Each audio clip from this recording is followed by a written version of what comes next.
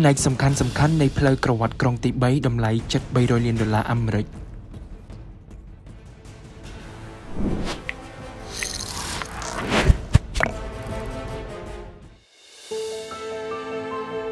ផ្លូវក្រវ៉ាត់ក្រុងទី3ភ្ជាប់និស័យពីផ្លូវជាតិលេខ4ទៅកាន់ផ្លូវជាតិលេខ1ប្រវែងជិត53គីឡូម៉ែត្រដោយឆ្លងកាត់ភូមិសាស្ត្ររាជធានីភ្នំពេញនិងខេត្តកណ្ដាល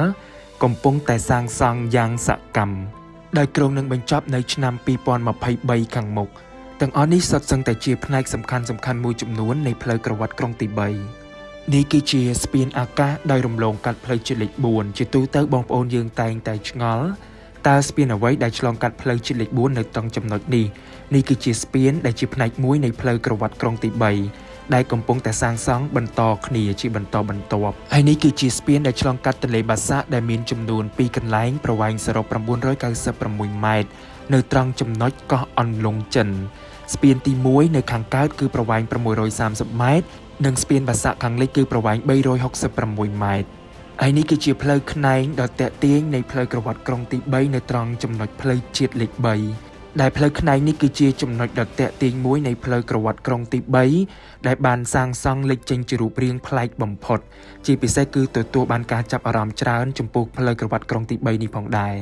ចំពោះការសាងសង់ផ្លូវក្រវ៉ាត់ក្រុងវិញគឺត្រូវព័ទ្ធជារង្វង់ដើម្បីធ្វើឲ្យទីក្រុងកាន់តែរីកធំជាងមុនហើយផ្លូវក្រវ៉ាត់ក្រុងទី3នេះគឺជាផ្លូវក្រវ៉ាត់ក្រុងដ៏ធំមួយនិងទំនើបនៅកម្ពុជា ហើយសម្រាប់ការពាត់ជារង្វង់នៃផ្លូវក្រវ៉ាត់ក្រុងទី3នេះគឺមិនទាន់ពេញលេញនៅឡើយនោះទេពីព្រោះត្រូវការសាងសង់ស្ពានចំនួន2កន្លែងទៀតទើបអាចពេញលេញនៃផ្លូវក្រវ៉ាត់ក្រុងមួយខ្សែនេះពោលគឺស្ពានភ្ជាប់ទៅកោះដាច់និងក្តីតកុយទាំងអស់នេះសុទ្ធសឹងតែជាសកម្មភាពនៃការសាងសង់មួយចំនួននៃផ្លូវក្រវ៉ាត់ក្រុងទី3និងផ្នែកសំខាន់សំខាន់មួយចំនួននៃផ្លូវក្រវ៉ាត់ក្រុងដ៏ធំមួយនេះផងដែរ។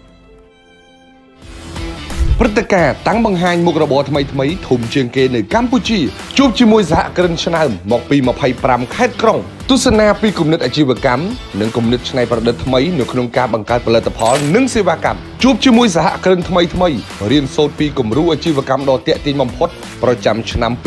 2022នៅក្នុងព្រឹត្តិការណ៍ដ៏អស្ចារ្យនេះក៏មានបញ្ចូលនៅសិក្ខាសាលា ស្ដីអំពីយុទ្ធសាស្ត្រនៃការគៀងគោទុនដើម្បីពង្រីកអាជីវកម្មដែលបង្រៀនដោយអ្នកជំនាញល្បីៗ